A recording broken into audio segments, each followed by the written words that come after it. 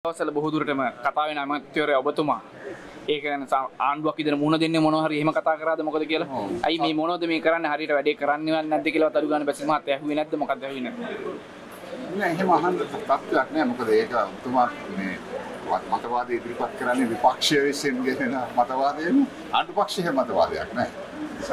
දැන් අපි දැක්ක ඊයේ දිනේත් යම් මේ මේ ස්ට්‍රයික් එකක් තිබුණා. මොකද ඔබතුමාට කියන්න තියෙන්නේ ඒක? ස්ට්‍රයික් කියන එක සෞඛ්‍ය ක්ෂේත්‍රයේ අපි දැකපු දෙයක්. අලුත් දෙයක්වත් නෙමෙයි.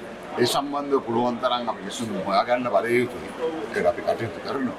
හැබැයි ඉලක්කේවත් තියෙන ඉතින් සාධාරණ නොවන විසඳුම්. අනිත් එක මෙවැනි අවස්ථාවක මේ රට මෙවැනි තත්ත්වයක තියෙනකොට මම හිතනවා ඔබතුමා දකින්නට ඇති ඒකට ජනතාවගේ ලැබපු ප්‍රතිචාරය. ජනතාව ගන්න ඕනේ මොකද කියලා. මම නම් එහෙම කියන්නේ මොකද මගේ මාධ්‍යංශය වැඩ කරන අය ඒ නිසා ජනතාවගේ ඒ ඒ මතවාදය තමයි රටේ මේ මොහොතේ. ඒ සෞඛ්‍ය ක්ෂේත්‍රයේ ආකාරයෙන් හැදෙන්න පුළුවන් කමක් නැහැ. අඩුම ගානේ මේ වගේ යුගයක.